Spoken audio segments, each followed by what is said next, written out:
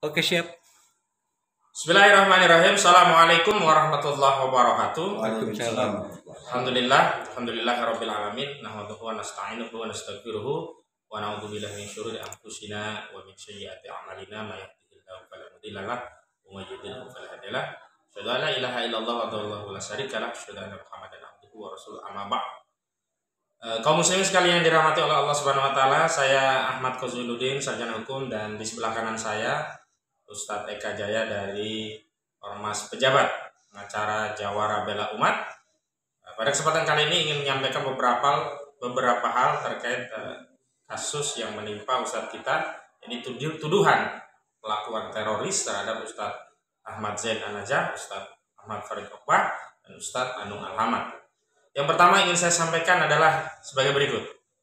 Bahwa ketiga Ustadz ini, Ustadz Ahmad Farid Okbah, Ustadz Dr. Ahmad Zain Anajah dan Ustadz Anung Alhamad adalah ulama, ulama umat, pengemban dakwah. Mereka adalah pelita bagi umat yang menerangi dengan cahaya keilmuan mereka di tengah-tengah umat yang tugasnya adalah membina dan mendidik umat.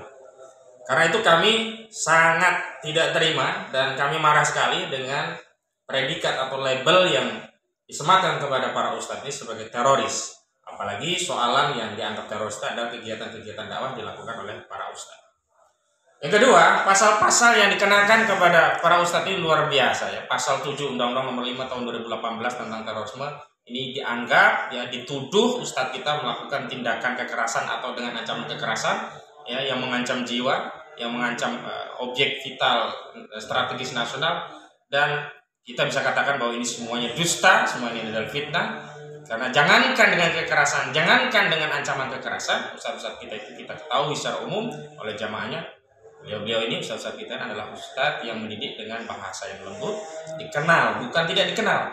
Bahkan kami nanti akan hadirkan jamaah-jamaah beliau yang selama ini dididik, dibina oleh beliau-beliau ini. Kedua juga dianggap menyembunyikan informasi terorisme, ada pasal 13A, ada juga 12C ya, 13C juga.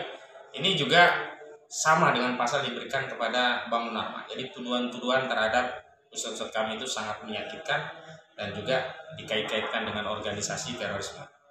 Jadi kami ingin tegaskan bahwa ustadz kami bukan teroris, mereka adalah pengemban dakwah dan kami akan memberikan pembelaan yang maksimal untuk ustadz kami untuk eh, memberikan ya pembuktian bahwa ustadz kami benar-benar adalah ulama yang tidak melakukan tindakan-tindakan yang dituduhkan, tindakan teror dengan ancaman kekerasan atau penggunaan kekerasan atau yang menyebabkan hilangnya nyawa bahkan tidak ada satupun ya kegiatan atau tindakan fisik dilakukan oleh ustadz kami. Ya selanjutnya bahwa esok kami minta dukungannya akan ada sidang kedua dengan agenda pembacaan dakwaan dari jaksa penuntut umum. Dan dalam pembacaan dakwaan itu kami sudah meminta Ustadz Farid Ahmad Obah, Ustadz Ahmad Zainan Najah dan Ustadz Anung Alhamad agar dihadirkan dalam suatu proses persidangan yang terbuka untuk umum karena sebelumnya akan dilakukan persidangan secara online. Dan kemarin sudah ditetapkan oleh majelis hakim persidangan secara offline atau secara adil langsung. Karena itu kita ya berharap sekali agar majelis hakim komitmen dan tidak ada alasan lagi persidangan dilakukan secara online. Dan selanjutnya kami menghimbau kepada seluruh kaum muslimin untuk memberikan dukungan doa. Dan tentu saja yang berada di sekitar eh, Pengadilan Negeri Jakarta Timur atau yang bisa menjangkau agar bisa hadir memberikan dukungan kepada beliau dalam sebuah sidang yang terbuka untuk umum. Besok adalah agenda yang kedua hari Rabu tanggal 31 Agustus 2022 dan setiap agenda sidang selanjutnya akan kami informasikan eh, dalam bentuk informasi-informasi tentang perkembangan persidangan dan juga jadwal sidang berikutnya. Dan terakhir kami minta agar seluruh stakeholder ya tidak memberikan labeling karena ini prosesnya masih jalan. Tidak boleh ada sat- satu pun ya yang menyebut ini teroris atau terduga teroris karena semua ini masih dalam proses hukum. Hargai proses hukum presumption of innocent asas praduga tidak bersalah sehingga pemberitaan atau media apa pun juga kami himbau untuk tidak memberikan label-label atau stigma negatif kepada ustadz dan ulama kami itu dari saya selanjutnya nanti ada dari Ustadz Eka Jaya perwakilan dari eh, Ormas yang bisa menyampaikan pandangannya demikian wassalamualaikum warahmatullahi wabarakatuh Waalaikumsalam wabarakatuh. Assalamualaikum warahmatullahi wabarakatuh. Waalaikumsalam. Alhamdulillah wassalatu wassalamu ala Rasulillah wa ala alihi washabihi wa mawala. La haula wala quwata illa billah amma ba'd.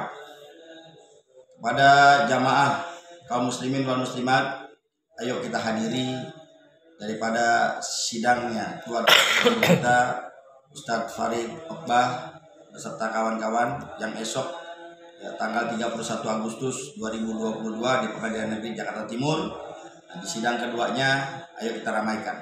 Ya, kita dukung agar hakim ini benar-benar dibuka mata hatinya oleh Allah Subhanahu wa taala melihat permasalahan dengan jelas dan ini satu tuduhan-tuduhan terhadap ulama-ulama kita yang dikatakan tadi oleh Ustadz Ahmad Wajinuddin tidak ada sedikit pun yang dilakukan oleh guru-guru kita itu melakukan satu kekerasan, satu tindakan yang merugikan negara.